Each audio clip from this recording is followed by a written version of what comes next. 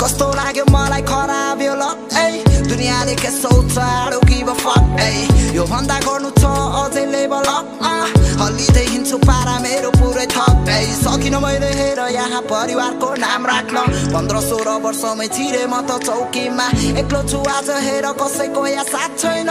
खुसी छैन मन छुटो हाँसो हेर हाँस्दैमा। स्वार्थी भएछु म कसैको कुरा सुन्दिनँ। सबै बदलियो तर बानी मेरो बदलेन।